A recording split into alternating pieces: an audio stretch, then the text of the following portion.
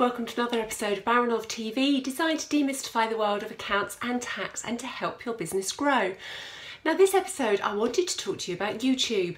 Um, I talked in a previous episode about the value and the benefits involved in um, producing a series of videos such as Baranov TV and how it can really help your engagement with your customers and to build relationships with them um, by putting your videos on your website and having them by definition then hosted somewhere um, and I suggested either Vimeo or YouTube.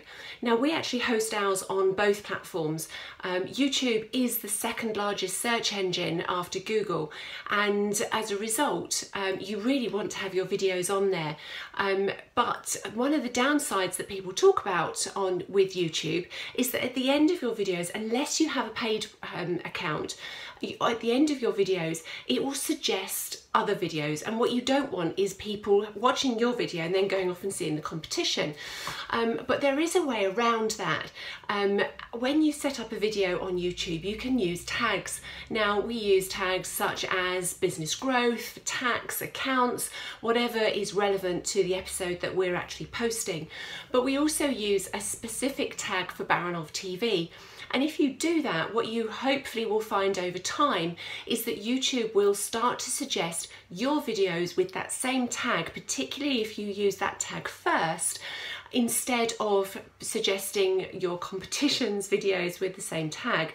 So what you want to do is actually decide on a tag, use it first on your tags, and hopefully, as I say, over time that will make a difference.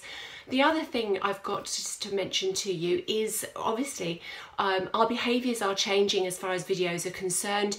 There's more and more of them. We're watching more and more of them, but we're watching more and more of them without putting the sound on. So you really do need to make sure that you've got captions on your videos.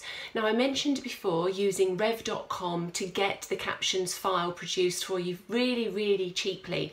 Um, but once you've got that, when you upload your video to YouTube, you need to force those captions to be on. And that's really easy to do by actually adding an additional tag, which is YT colon CC equals on.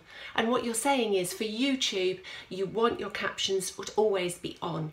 Now I'll put that at the bottom of the screen, but that's a really easy way to make sure that your captions are always visible to your viewers. Um, so I'm going to finish this video and I'm going to get it uploaded onto YouTube and Vimeo. Um, I hope it's worthwhile, worthwhile and I hope it's useful um, and I'll see you all very soon.